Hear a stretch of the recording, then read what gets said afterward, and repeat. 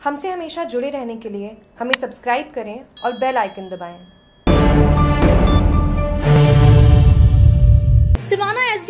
बड़ी कार्रवाई, फर्जी अस्पताल को किया सील, फर्जी डॉक्टर को पुलिस ने किया गिरफ़्तार। तीन कमरों में 30 से 35 ऑक्सीजन युक्त बेड लगाकर और बाहर बहुत बड़ा टेंट लगाकर कर रहा था इलाज, फर्जी डॉक्टर ने की एसडीएम से अभद्रता। सिमाना के निकटवर्ती कुसीब ग्राम में फर्जी अस्पताल द्वारा 30 से 35 बेड लगाकर लोगों का इलाज करके जान जोखिम में डालने की शिकायत दूरभाष पर 15 मई को प्राप्त होने पर एसडीएम कुसुमलता चौहान ने हल्का पटवारी कुसीब को मौके पर जाकर जाँच करने को कहा। जिसको लेकर 15 मई को हल्का पटवारी कुसीब ने मौके पर जाकर देखा तो बड़े टेंट में 30 से 35 बेड लगाकर लोगों का इलाज करना पाया गया तथा कोरोना गाइडलाइन की पालना नहीं हो रही थी। सोशल डिस्टेंसिंग की धज्जियाँ उड़ रही थी, जिसकी सूचना पटवारी द्वारा एसडीएम को देने पर एसडीएम कुसुमलता चौहान में राजस्वर टीम मौके पर आ पहुँची।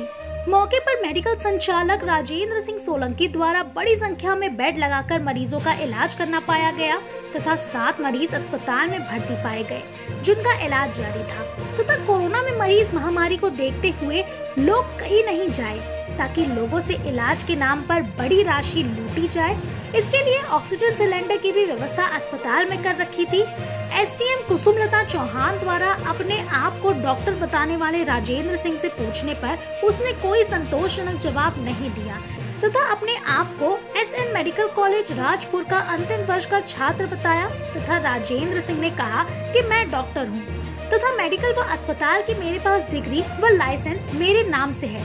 तथा एसडीएम से उलझने लगा तथा अभद्रता पूर्ण व्यवहार करने लगा, जिसको लेकर एसडीएम ने पुलिस व बीसीएमओ को सूचना देने पर सिवाना पुलिस व बीसीएमओ संजय शर्मा मौके पर पहुँचे तथा अस्पताल की जाँच की व लाइसेंस व डिग्री संबंधित कागजात मांगने पर उपलब्ध नहीं करवा पाने पर एसडीएम ने मेडिकल व अस्पताल को सील किया तथा डॉक्टर को पुलिस द्वारा गिरफ़्तार किया गया। बीसीएमओ संजय शर्मा ने बिना डिग्री लाइसेंस के अवैध तरीके से अस्पताल चलाने पर मुकदमा दर्ज करवाया गया तथा एसडीएम कुसुमलता चौहान ने अभद्रता करने व राज कार्य में बाधा डालने का मुकदमा दर्ज करवाया।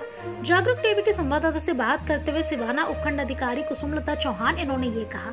कुशीप गाँव में हमें एक शिकायत मिली थी जोला छाप डॉक्टर के कोरोना मरीजों को चेक करके 30 से 40 बेड लगाकर, बड़ा टेंट लगाकर क्लिनिक खोल लेगी। आज हम पूरी राजस्व टीम पुलिस जाब्ता सहित हम वहाँ पहुँचे। हमने वहाँ देखा कि मेडिकल उपकरण और भरपूर मात्रा में दवाइयों का स्टॉक पड़ा है। साथ में डॉक्टर राजेंद्र सोलंकी वहाँ पर मरीजों का इलाज कर रहे थे। ऑक्सीजन भी चढ़ा रहे थे, ड्रिप चढ़ा रहे थे, दवाइयाँ लिख रहे थे।